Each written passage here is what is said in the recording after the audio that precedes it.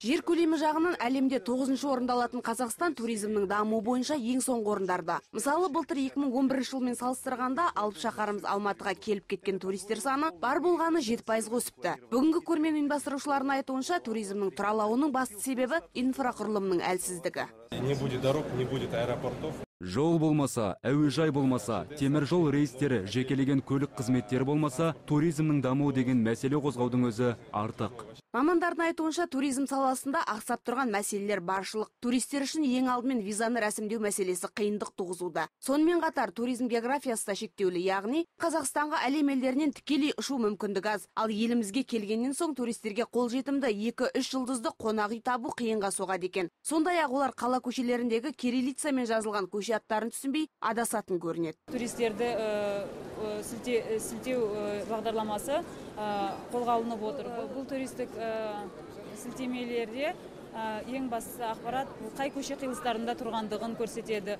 Жақын маңда э, 10-15 минуттық жаяу жерде қандай туристік көрнекі жерлердің бар екендігі және де қандай авто қандай авто автобуспен қай жерге жетуге болатындығы сияқты және де жақын маңдағы э, тамақтанатын орындар э, қонақ үйлер немесе басқа да э, қызығушылық танытатын жерлерді көрсету. Елімізде туристерге көрсетілетін қызметтің қымбатшылығы туризмнің дамуына кері әсерін тигізуде. Оған әуе тасымалынан бастап қонақ үйге дейін бәсекелестіктің болмауы себеп дейді мамандар. Яғни саны аз болған сайын қымбаттай береді. Сондықтан кәсіпкерлеріміз осы мәселелерді ескерсе дейді олар. Жалпы қазір осындай кемшіліктерді жою үшін үлкен жұмыстар жүргізілуде. Былтыр алматыда туризм саласын дамытуға қалалық бюджеттен 19,5 миллион теңге бөлінсе биыл бұл сома 100 пайызға көбейіп 116 миллион теңгені құрапты. Қазіргі кезде де бізге туристер келуде Ә, әрине әлі де жасайтын жұмыстар көп.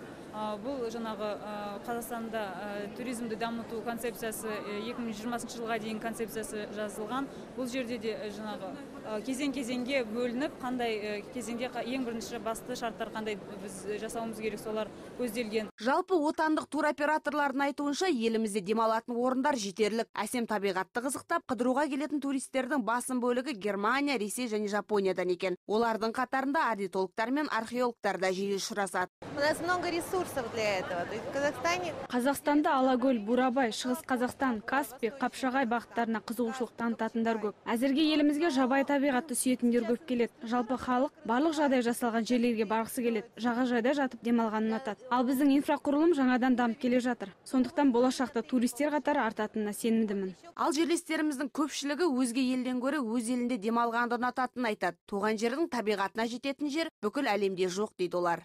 Қазақстанның әр облысында ö- нелер бар ғой? Павлодарда бар э, баянауыл бар э, жамбылда бар мерке э, шипажай бар сарыағаш бар бізде. Көп біз қазақстан бар э, только кішкене надо э, туристически развивать надо Хорошо бы реклама была хорошая, чтобы могли бы туристы зарубежные приехать. көкшетауды енді қымбат дейді көбіне көкшетауды енді көбіне айтады лучше көкшетау қаранша турцияға барып келген жақсы деп но в основном там лечение хорошее көкшетауда сосын сол жақтарға көбіне білмеймін ондай көп ондай қымбат емес сияқты қазақстан ішінде әлия алмауытова рашидин якупов алматы телеарнасы